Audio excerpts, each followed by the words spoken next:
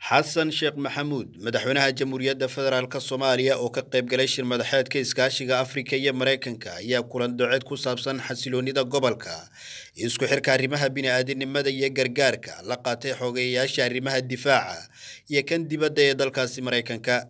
kulankan ayaa waxaa ka qaybgalay madaxweyneyaasha dalalka jabuuti ismaaciil cumar geelle nejar maxamed bazuum waxaana madaxdu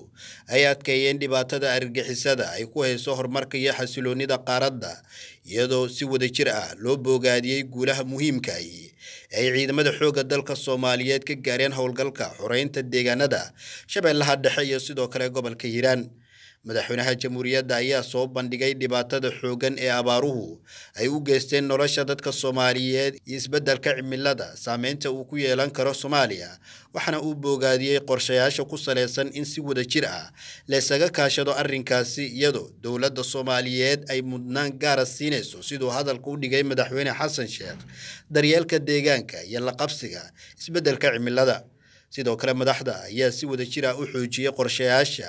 lagu lafugurayo madasha iskaashiga afrika iyo maraykanka gaar ahaan in lagu garab istaago dowladda soomaaliya hiigsigeeda horumarineed iyo tallaabooyinka horu socodka ee ay u qaaday dhanka horumarka iyo sidoo kale isku xoreynta ururka al-shabaab. Kulankaas markii uu soo idlaaday kadib ayaa waxaa warfidiyeenka la hadlay agaasimaha warfaafinta madaxtooyada qaranka soomaaliyeed madaxweynaha jamhuuriyadda federaalk soomaaliya mudane xasan sheekh maxamuud oo ka qayb galay shir madaxeedka iskaashiga afrika iyo maraykanka ayaa waxa uu kulamo kala duwan la yeeshay madax kala duwan oo ka qayb galay madashan. Madaxweynaha ayaa waxa uu la kulmay xogeyaha arrimaha dibadda ee dalkan maraykanka antony blinkan xogeyaha difaaca ee dalkan maraykanka leod easton sidoo kaleeto madax kala duwan ayuu madaxweynuhu la kulmay. Madaxweynaha ayaa la wadaagay xogeyaasha guulaha laga soo hoyey dagaalka dhanka ah argixisada al-shabaab wuxuuna tilmaamay saameynta cunaqabateynta dhanka hubka ah ee saaran soomaaliya isagoo sheegay in si nafhurnimo leh ay ciidamada soomaaliyeed ku xoreeyeen gobollada shabeellaha dhexe iyo hiiraan. Madaxweynaha jamhuuriyadda doctor xasan sheekh maxamuud ayaa xusay doorka geesinimada leh iyo garab istaagga ciidamada qalabka sida ay u muujiyeen bulshada deegaanada la xoreeyey ayaa dul istaagay xaaladda nololeed ee adag ee ka jirta degmooyinka iyo deegaanada laga saaray argixisada khawaarijta ah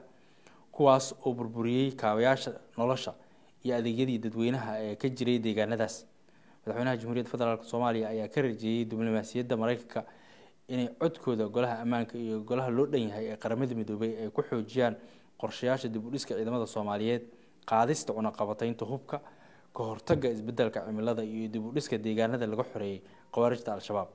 Madaxweynaha ayaa dooda soomaaliya ku soo bandhigay kulan aragti wadaag ah oo nabadda amniga iyo dowlad wanaagga looga hadlayay. Doodaas madaxweynaha waxa uu ku soo bandhigay hadafka dowladda federaalk soomaaliya iyo aragtida madaxweynaha ee lagu ciribtirayo khawaarijta iyo argixisada gobolka guulaha dowladda federaalk soomaaliya iyo ciidamada xoogga dalka soomaaliyeed ay ka gaareen dagaalada dalka soomaaliya ka socda ee loogaga soo horjeedo argixisada caalamiga ah ee al-shabaab laguna ciribtirayo madaxweynaha jamhuuriyadda federaalk soomaaliya waxyaabaha kaleeto uu soo bandhigay ama aragtiyaha kaleeto ee madashaas uu ku soo gudbiyey ayaa waxaa ka mid ahaa dowladda federaalk soomaaliya ujeedkeeda koowaad uu yahay ciribtirka khawaarijta